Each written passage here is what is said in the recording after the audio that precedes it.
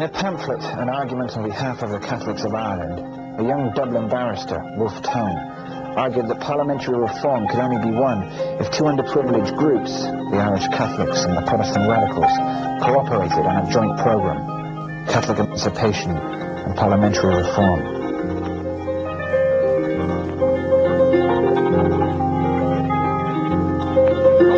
Argument is simply this, that Ireland, as deriving her government from another country, requires a strength in the people which may enable them, if necessary, to counteract the influence of that government, should it ever be, as it indisputably has been, exerted to thwart her prosperity. That this strength may be most constitutionally acquired, and safely and peaceably exerted through the medium of a parliamentary reform,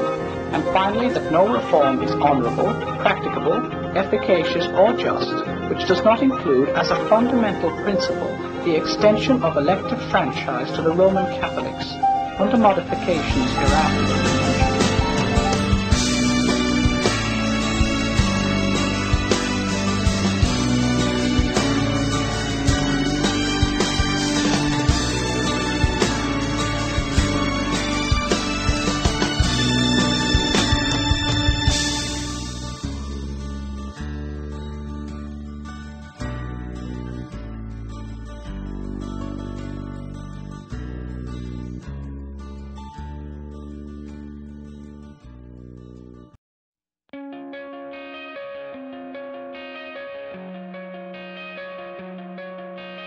Thank